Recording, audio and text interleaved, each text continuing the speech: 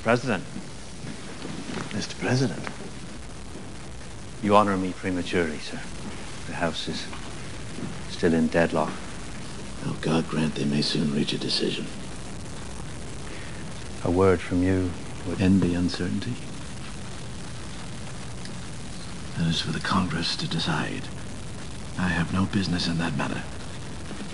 If the Federalist conspirators are allowed to defeat this election, there will be resistance by force, and the consequences could be incalculable.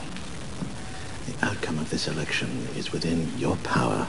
You have only to honor the national debt of which the Federalists hold dear, and the government will instantly be in your hands.